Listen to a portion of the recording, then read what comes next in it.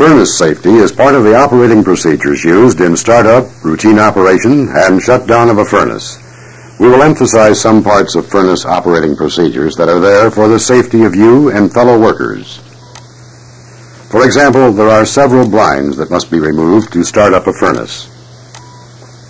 But the sequence of pulling the pilot gas line blind and lighting the pilots before pulling the main burner gas line blind is done for safety. It is important to strictly follow a sequence as given unless you have an alternate listed in your procedure. This presentation will not give you details on operating procedures, but will highlight the procedures you must follow for safety. When you are told it is time to start up a furnace, what are some safety items to always observe? An excellent way to begin is to review the written startup procedure for the furnace found in your unit operating manual. Never assume it is the same as last time Changes in equipment and procedures are one way of making our job safer and more effective.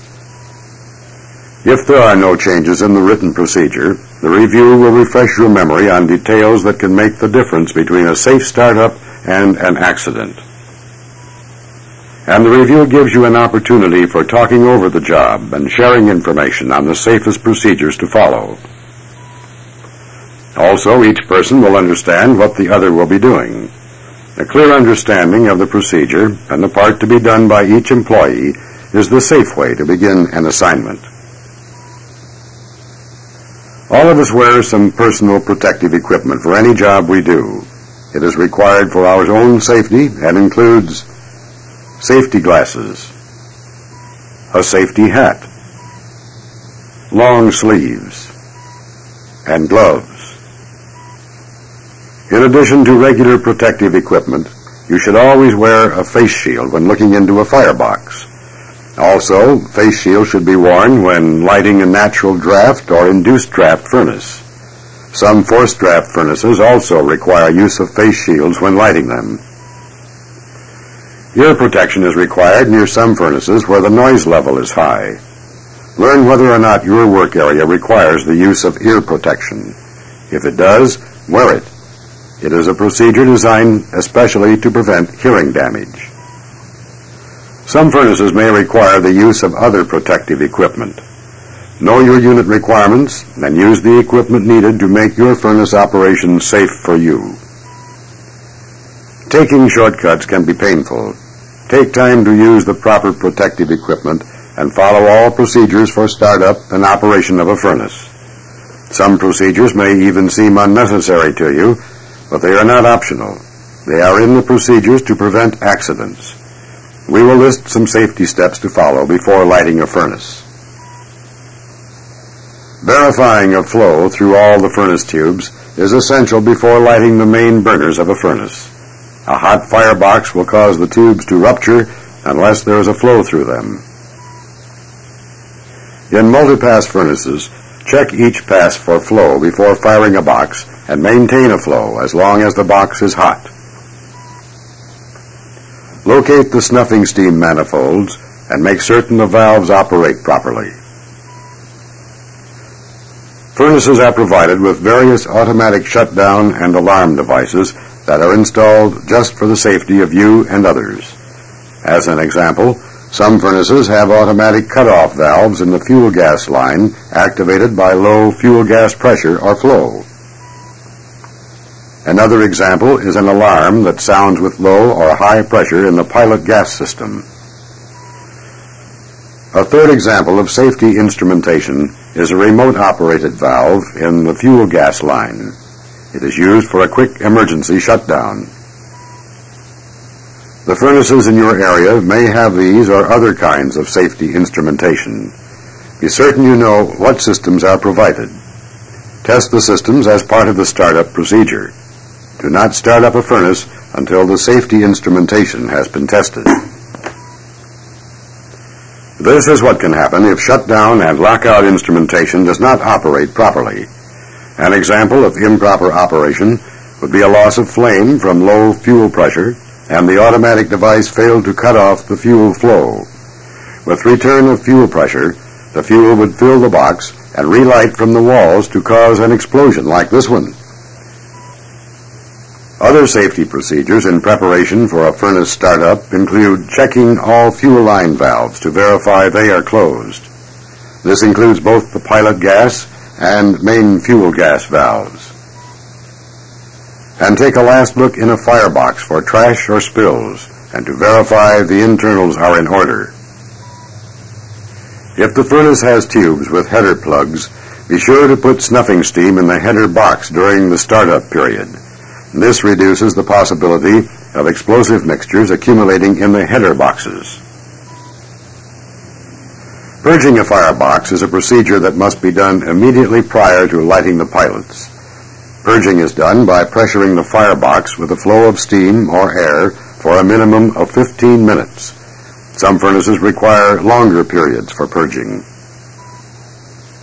The dampers and air doors must all be open for proper purging. While purging is in progress, is a good time to pull the pilot gas blind. Immediately following firebox purging, the pilot burner should be lighted. The sequence of lighting pilots before the main fuel line blind is pulled is listed that way for safety. Using that sequence reduces the chances of forming an explosive mixture in the firebox. Lighting pilots requires the use of a torch.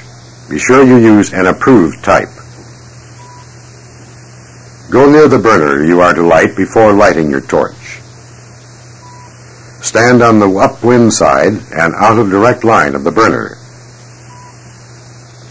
Verify your furnace draft before opening the pilot fuel valve. Improper draft could cause a flame flashback through the burner peephole or air inlet. Draft can be verified by checking the gauge or placing a lighted torch near the air door and see if the flame is pulled toward the burner, or placing a rag or paper near the air door and see if it is pulled toward the burner. Fuel valve should always be opened slowly to give even ignition.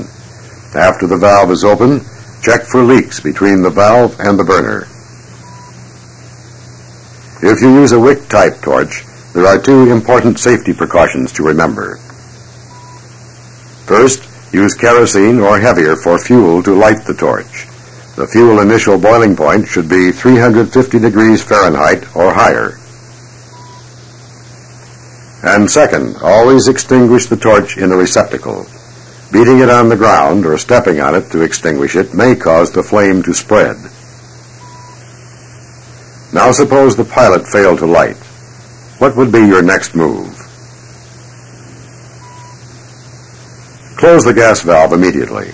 Then recheck your pilot fuel pressure and your procedure for lighting. Determine if the firebox needs repurging, and do so if needed. Then try again to light the same pilot or another one. Any pilots that do not light should be pulled and cleaned so they will light before proceeding. After you have all the pilots burning, pull the main fuel line blind. The sequence of leaving the main fuel line blind in place until all pilots are burning is an important safety precaution to prevent leakage of main burner fuel into firebox while lighting pilots. When you pressure either the main burner fuel system or pilot fuel system, draining liquid from the knockout drum and air from the lines will ensure smoother lighting of the burners and prevent putting liquid fuel in the firebox.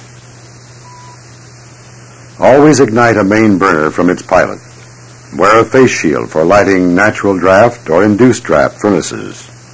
Also, some forced air furnaces require face shields for lighting main burners. And stand out of line of the burner on the upwind side when lighting it. Open the gas valve slowly until the burner ignites. If the burner does not light immediately, Close the valve, recheck to see that all pilots are burning, and try another burner. Purging of a firebox has been listed as the safe procedure prior to lighting a cold box, and purging should last a minimum of 15 minutes. Some situations require longer purging time. Purging is also required before relighting a furnace when the flame goes out for any reason on all the burners and pilots of a section of the furnace. When a flameout occurs in a furnace, the main fuel line valve should be closed immediately if it does not close automatically. Then the fuel valve to each burner should be closed. After the burner fuel valves are closed, make a visual check of the pilots to see if all are still burning. If the pilots are out, close the pilot gas valves and repurge the box before relighting them. If the pilots are burning, relight the burners one at a time from their pilot. You must not try to relight all the burners at the same time by reopening the main fuel line valve while the burner valves are open. Unit surveillance includes some procedures that are totally for safety. Wearing a face shield or combustion glasses for looking in peepholes is for your safety. It can protect your face from heat and your eyes from trash particles. Use ear protection as required is to protect your hearing from damage over a period of time. A visual check to assure that all pilots are burning is important to furnace safety. Also look around in the firebox for flame impingement, flame color, and hot spots on tubes. Look for leaks in fuel and process streamlines. Make corrections as soon as you see anything wrong. Avoid injury from a source of hot oil spills by thoroughly purging a liquid fuel burner with steam before pulling it. When shutting down a furnace with removable plugs in the return bends, it is important to keep the header boxes pressured with snuffing steam. This may prevent a fire in case a leak occurs around a plug. And on any furnace shutdown, the fuel line blind should be installed and steam put into the firebox as soon as the last burner fire is out. This is a must, regardless of the length of downtime planned for the furnace. On an emergency shutdown caused by a gas release in the area, Close the stack damper and pressure the firebox with steam as quickly as possible to keep flammable gases away from the hot bricks in the furnace. Our discussion so far has aimed at safety procedures that are applicable to most all furnaces. Let's look now at some procedures more specifically aimed at safe operation of a forced draft furnace. It is called forced draft because the combustion air is supplied by fans blowing into the combustion area. This type furnace requires more instrumentation and shutdown systems to prevent the accumulation of fuel gas in the firebox if airflow is stopped or a flameout occurs. Each forced draft furnace has instruments for that specific design. For safe operation, you need to know the location of the control instruments and how their action affects the furnace. For example, if a fan shuts down, you need to know what instruments are activated to compensate for the loss of the fan. You can then check to be sure the changes occur. Immediate response to furnace alarms can mean the difference between an accident and a safe working day. As a safety check prior to startup, all instrumentation controlling safety functions must be checked to see they are working properly. Never fire up a furnace until this is accomplished.